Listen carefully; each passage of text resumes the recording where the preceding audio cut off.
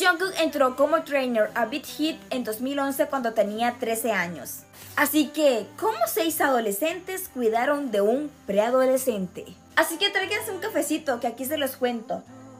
No tiene nada, solo quería verme aesthetic.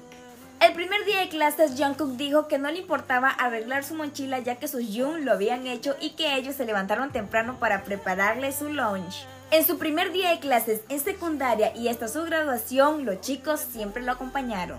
J-Hope y Suga iban por él a la secundaria y le cargaban el bolso. Jonggi una vez dijo que si tuviera un hijo como Jungkook fuera muy feliz con solo verlo. En una ocasión Jungkook iba corriendo y Jin le dijo ¿Qué pasa cariño? En una ocasión Jungkook no le pudo dar un regalo a J-Hope y J-Hope le dijo Tu presencia es un regalo para mí.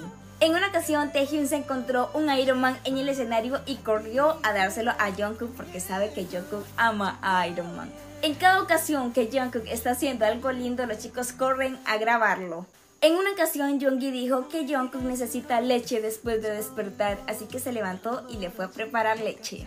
En una ocasión estaba haciendo demasiado frío, así que Jin se quitó su manta para proteger a Jungkook del frío. En una ocasión, Taehyung muy orgulloso confesó que estaba a cargo de las comidas de Jungkook. En una ocasión Jungkook no pudo actuar en un concierto y los chicos en cualquier oportunidad estuvieron pendientes de él para que no se sintiera mal. Jungkook una vez dijo que tuvo momentos muy difíciles y que pensó en volver a Busan. Entonces Jin lo llevó a casa de sus padres y lo trató como un verdadero hermano y eso hizo que no se rindiera y no volviera a Busan y se enamorara de Seúl.